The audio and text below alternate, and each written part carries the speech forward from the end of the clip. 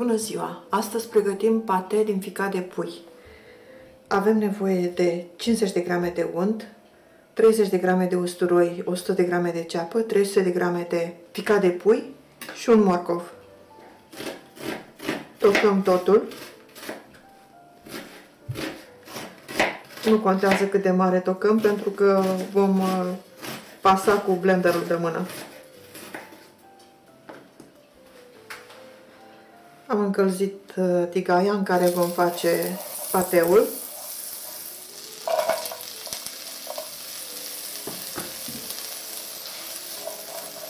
Călim bine ceapa prima dată și apoi punem morcovul.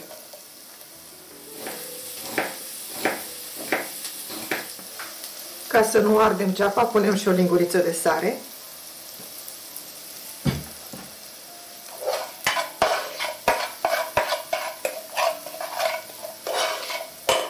Acum punem și morcovul.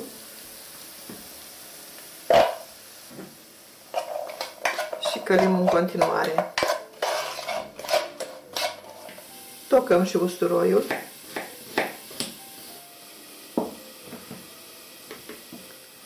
Verificăm fiecare ficat de pui să nu aibă fierea, să nu aibă rămasă pe o bucată de fiere. L-am pus în lapte să mai iasă din uh, amărală, din sânge. Verificăm și îl, îl scurgem pe un prosop.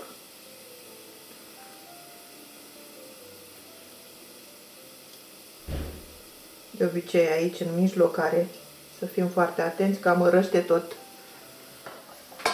După ce s-a călit puțin și morcovul, punem și ficăței uscăm bine. Și punem și pe ei la călit. Punem și usturoiul.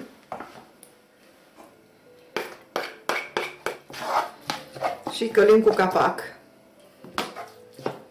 După ce a scăzut toată apa lăsată de ficăței, sau muia și ficăței și legumele, punem condimente.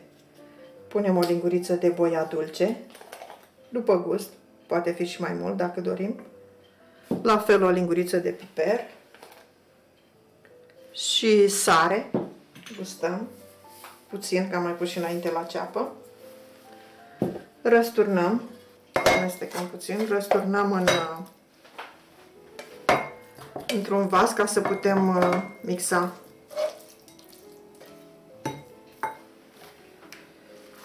și apoi mixăm.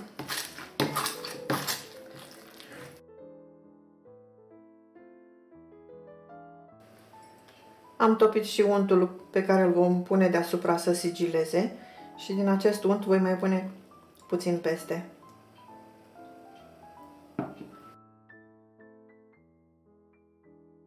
Gustăm de sare, de iute. Așa arată pateul de casă,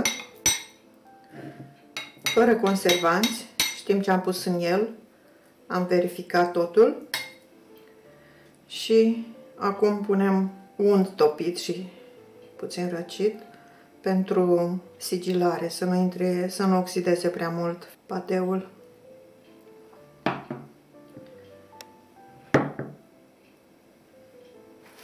Acoperim și lăsăm la rece. S-a răcit pateul, așa arată consistența.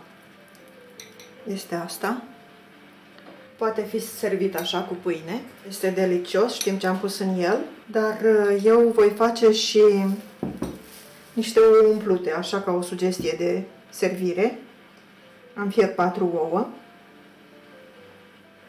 peste care voi pune puțin muștar, o linguriță de muștar, puțin piper negru și voi amesteca voi pune și o bucățică de unt. Se topește de la puțin, numai cât să-i asigure cremozitatea necesară. O feliuță mică. Și amestecăm să se topească de la gălbenuș, gălbenușul fiind puțin călduț. Voi pune și o lingură de pate.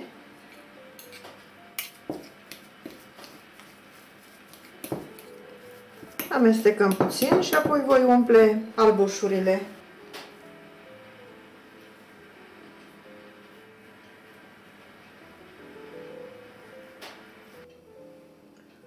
Ornăm cum dorim. Eu o să pun o măslină și avem un aperitiv delicios.